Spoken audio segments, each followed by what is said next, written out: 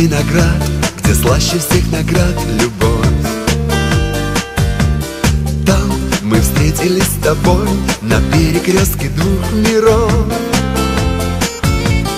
Там, где зреет виноград Последний разговор затих. Мы запутались в словах Как ветер в волосах твоих.